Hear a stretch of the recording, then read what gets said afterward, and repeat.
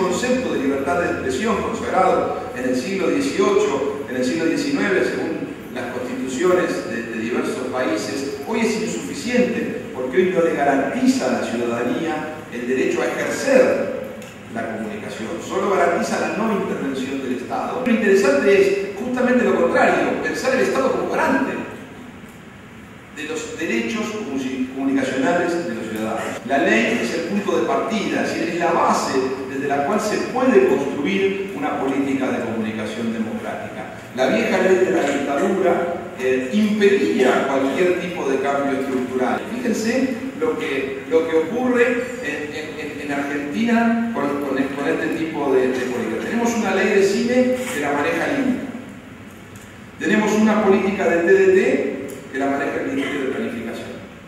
Y tenemos una ley de servicio de comunicación audiovisual que la maneja el AFA.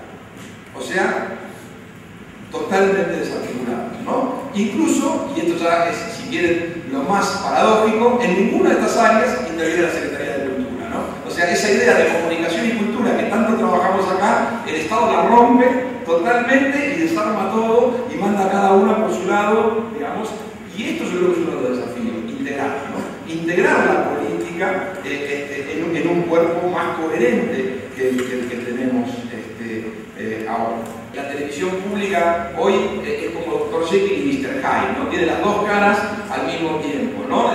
tiene la cara de la programación diversa, la programación plural. Si uno compara grillas de programación, sin duda mucho más diversa que cualquier otro canal privado. es una programación que tiene una intención, no siempre logra, pero tiene cierto que es un proceso de ser más federal que el resto, y sin embargo es una eh, televisión absolutamente oficialista que no está en sintonía con lo que debe ser un medio público. Y esto es un grave problema porque se está deslegitimando desde el ejercicio de la ley la propia ley.